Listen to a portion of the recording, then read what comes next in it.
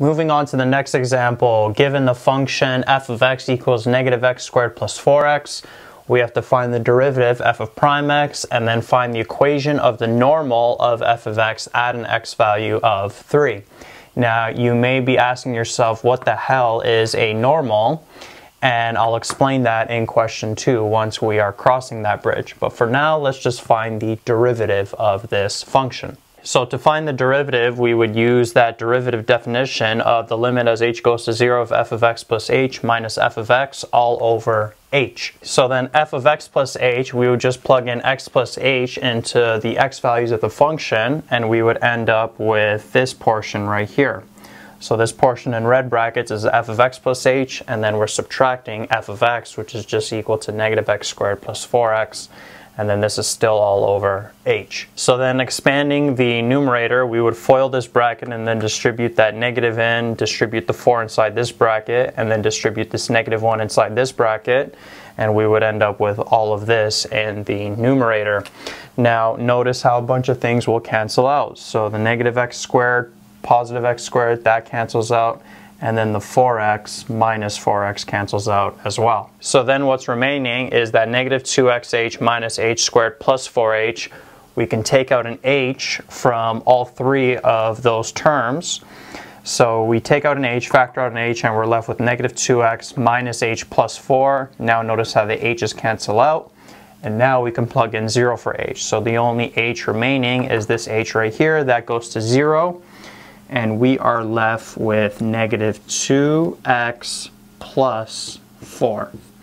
So negative 2x plus 4, that there represents the derivative of this function negative x squared plus 4x. Now moving on to the second question, we have to find the equation of the normal of f of x at an x value of 3. And a normal is just basically a perpendicular line to the tangent of a function at a specific x value. So let's show this visually. So this here represents the function negative x squared plus 4x. So it has x-intercepts at 0 and at 4. And the way we got that is we can just factor this. So if we take out a negative x, we'd be left with x minus 4. So the x-intercepts are at 0 and 4. So we have to find the equation of the normal at an x value of 3. So that would be somewhere around here. So if we draw a tangent line at an x value 3 on this function, we would have this red line here. However, we're finding the equation of the normal, not of the tangent, and the normal is the line that's perpendicular to the tangent. So the normal is going to look something like this where the angle between that tangent, the red line, and this normal, the blue line, is 90 degrees. They're perpendicular. So to find the equation of that normal of that blue line, the first step is let's find the slope of the tangent of the red line. And to do that, we can use the derivative of the function that we found in step 1. So the derivative is equal to negative 2x plus 4. So if we want the slope of the tangent at that specific x value 3, we would just find f of prime 3.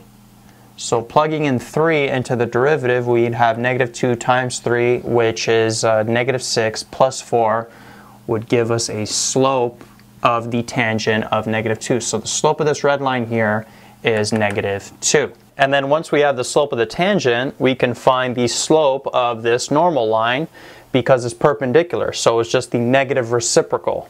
So the slope of the tangent is negative 2, or we can rewrite it as negative 2 over 1.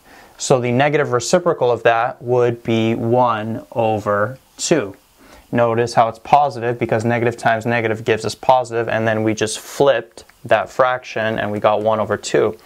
So we know the slope of this normal, of this blue line here, is equal to 1 over 2. And now that we have the slope of that normal, we need to just find that b value in the y equals mx plus b formula. So, so far we got y equals 1 half x plus b, where 1 half is the slope of this blue line of that normal. So we need a coordinate on that normal as well. Well, a coordinate we can use is the coordinate on this function that we're drawing the normal at. So we know that the x value of that coordinate is 3, And then the y value, we can just plug in 3 into our function here. So f of 3, if we plug in 3 for x, we would get a y value of 3 as well. So then plugging in x, uh, an x value of 3 and a y value of 3, we'd have 3 equals 1 half times 3 plus b. So then 1 half times 3 is 3 over 2, and then 3 minus 3 over 2 would just give us 3 over 2. So b is equal to 3 over 2. So then our final equation for the normal is y equals 1 half x plus 3 over 2. That's the equation of this blue line here. So as a quick recap, if you're finding the equation of a normal, three steps. You have to find the slope of the tangent at that x value, and we can just use the derivative.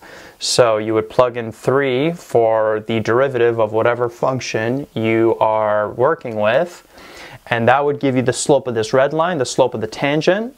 To find the slope of the normal, because it's perpendicular, it's just the negative reciprocal of that slope of the tangent we got. So we got negative 2, which is like negative 2 over 1, so the negative reciprocal of that is 1 over 2. So that's the slope of this blue line here. And then once we have the slope of the blue line, we just need to find that b value so we can use that coordinate on the function that we are specifically working with. So we're working with a specific x coordinate of 3. To find the y value, just plug it into the function. We get 3 as well and then plug in 3 for x, 3 for y, solve for b, we get 3 over 2, and then our final equation is this y equals 1 half x plus 3 over 2. Yo, what's up guys? Thanks for checking out my channel. Hopefully you got some value from the video you just watched. If you did get some value, a big favor to ask you, please like this video and subscribe to the channel. Any questions, any recommendations on things you'd like to see, please leave it in the comments section.